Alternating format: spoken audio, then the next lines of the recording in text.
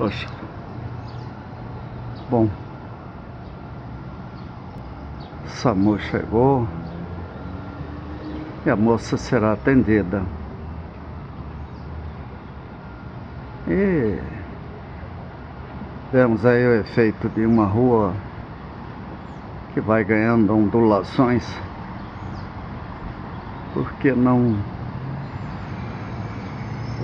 a pavimentação, a repavimentação não é adequada ao peso dos ônibus, força de arranque, etc. E quem se rebenta é o pedestre.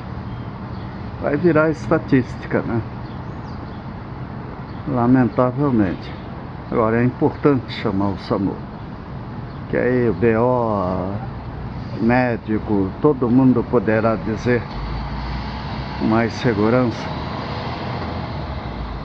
o que é em algum processo até de solicitação de indenização, que na minha opinião essa moça tem pleno direito, afinal machucou muito o rosto.